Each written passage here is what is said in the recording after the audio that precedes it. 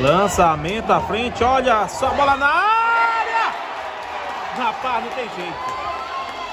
Não tem jeito. O que o BR9 é brabo, eu vou te contar.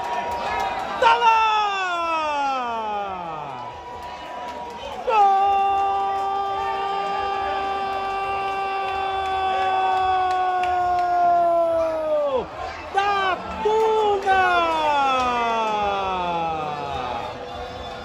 Ele de novo.